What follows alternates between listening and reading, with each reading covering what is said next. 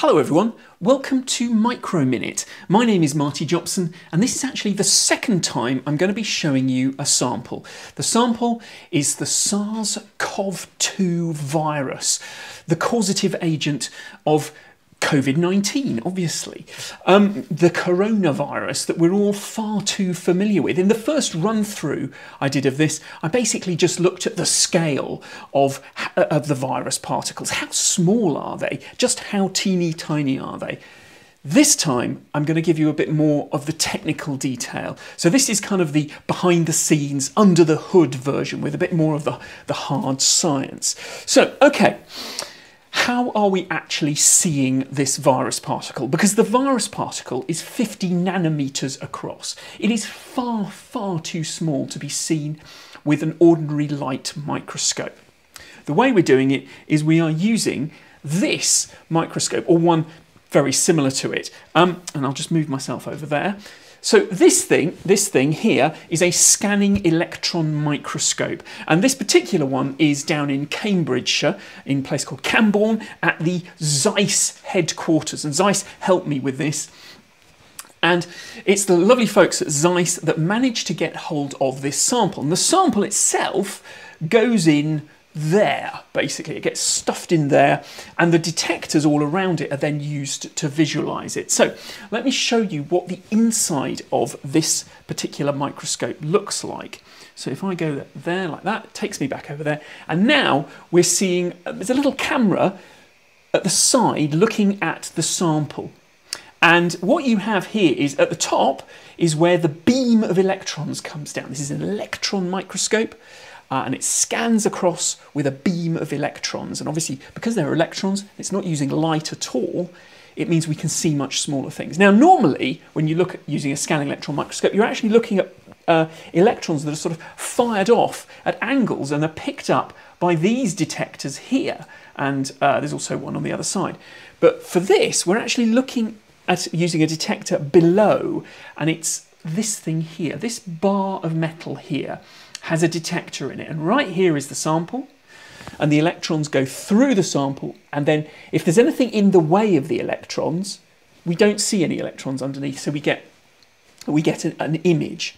So let's cut to the image, and to do that I have to switch detectors, which is the tricky bit as far as I'm concerned. Now, um, I'm operating this entirely, um, oops, entirely remotely.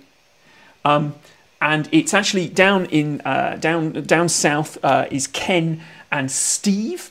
And let's oops, we're zoomed in. I forgot to zoom out. Uh, let's zoom right out to about there, somewhere like that.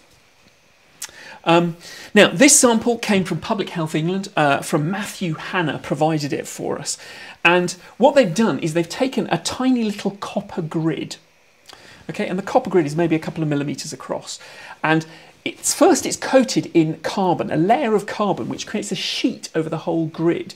So all of those, so you can see the completely black bits here, the sort of the black, um, the black lines are the copper. Over the top of that is a layer of carbon which forms a sheet. And then the viruses are put on top of that, and then it's stained or negatively stained with probably something like osmium or something like that. It's some sort of heavy metal, basically, in a liquid form that's put on and allowed to dry down so that all the viruses are sort of surrounded by um, it. It's a very clever technique that I once upon a time did actually use myself many, many, many years ago. Now, um, okay, so each one of these grids is about 35 micrometers across. So a human hair, about three grids across. Let's zoom in.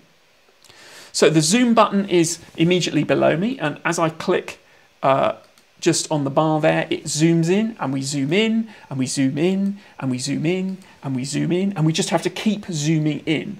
Um, we are working, or we are going to be working, at pretty much the limit of this microscope. You really can't go much smaller than this with the sort of things we're looking at. Uh, normally what you would do is if, if you really wanted to look at this sort of specimen, you would use a transmission electron microscope.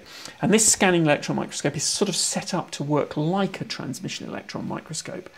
Um, let's have a look at samples. So basically what you have here is all of these little dots here are virus particles, so they are everywhere. This is, I should point out, completely inert. The staining kills, I mean, it's not really alive, but it kills everything. Um, interestingly, you can see, can you see here and here, there's a sort of a square, a little square shape. These are the bits we've actually looked at previously and we've sort of burnt away um, the specimen. So the specimen has been damaged. So I'm going to have to find other bits to look at. Let's, um, and so literally, I don't know what we're going to see. We'll go to this. Oh, no, I have to do it on this. What we're going to do is we're going to go here. I'll recenter on this nice little pair here, little doublet, which you can just about see of virus particles. Let's zoom in on those. Zoom, zoom, zoom.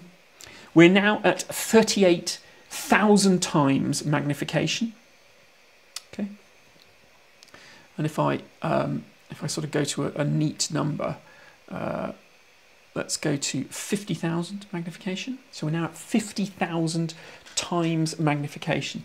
Uh, what do we think to these? Um, are they any good? I'm just sort of I'm looking because some of the virus particles are better than others.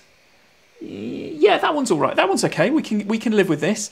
Um, I'm going to center again uh, on this little doublet, and we'll zoom in to we'll go up to hundred thousand magnification, which is kind of the limit to where you would normally use this microscope. You wouldn't. You could go. You can go closer in, but that's kind of what you would normally use. Ah, actually, these this was a pretty good one, actually. So we've got two virus particles. Interestingly, they're slightly different sizes. They do vary in size. The size of the virus particles, well, they're going to be about 50, the actual central bit is 50 to 30 microns in size. Um, what you're seeing there, this central blob here, okay, the central white blob, is the lipid bilayer coating uh, uh, or capsule, I suppose you could call this. I'm not entirely sure what some of the nomenclature is, but it's it's made of um, lipids, uh, the same lipids that are in you and I that make up our cell membranes. In fact, the lipids that make up the virus particles come from the host cell. Because what happens is these virus particles are coated in proteins. The proteins it's called the spike protein, and you can see the spikes quite nicely on this upper one here. Okay, I'll go in once more. We'll go up to 200. See whether we can, what we can see. But you can see now surrounding this one here is a rather nice little array of little dotties. Now, you might be thinking to yourself, that's just the background. And yes, the background has lots of little dotties in it. But if you look at this here, especially just here, you can really see there's a series of regular, almost like mushrooms sprouting from the surface of that thing. And that's the spike proteins. The spike proteins, there are actually three of them, identical proteins. They form a trimer and it inserts itself in that phospholipid bilayer that's there. And then inside that is a tiny little piece of RNA. It's quite a big piece of RNA as far as a virus is concerned but it's a small piece of RNA. The spike proteins attach to your cells. Your cell, the, the virus is then engulfed and brought inside. It tricks the cell into doing that. That RNA, because it's not DNA, it's the RNA that is comes out. The RNA is actually positive sense RNA, and what that means is it's the right sort of RNA to be immediately transcribed and turned into a protein. And that's what happens. It gets turned into proteins, and the proteins uh, that it makes initially are then the ones that go on to take the RNA and make more RNA. And then it makes more protein, and the proteins, the capsid, uh, the capsid proteins, the um, nuclear uh, capsid proteins, the membrane proteins, the envelope protein, and the spike proteins, only four other proteins, make up the whole virus particle. That's quite a good one. I quite like that one there at the top. You can sort of see, you can imagine it has that sort of halo around it. And that's why it's called a coronavirus, obviously. Coronavirus is relatively common, common cold, some common colds caused by the corona, coronaviruses, some by rhinoviruses. Different viruses cause colds. Um, but obviously, this is the thing that causes uh, COVID 19. And it's, I find it quite sobering to actually look at this thing here, seeing on my screen. I mean, I know I'm not anywhere near it, but it's quite sobering, isn't it? Let's face it. Um, we are in strange times indeed. So, um, that is uh, all I'm going to say about this now because I've been whittling on for good 10 minutes now. Once again, thanks to Matthew Hanna at Public Health England. Thanks to Zeiss. Oops, I'm on the wrong side. Thanks to Zeiss for providing uh, uh, the help and the kit and the know how to do all of this. Um, if you want to see more of my uh, videos, please go to my YouTube channel. The other ones that we're going to record on the COVID 19 virus are there, or send me a tweet, ask me questions on, on Twitter. Tell me how much you've enjoyed this. It's good to get feedback. And with that, I'm going to say thank you very much for watching. Uh, my, name is, my name is Marty Jopson. Uh, I'll see you next time. Bye bye.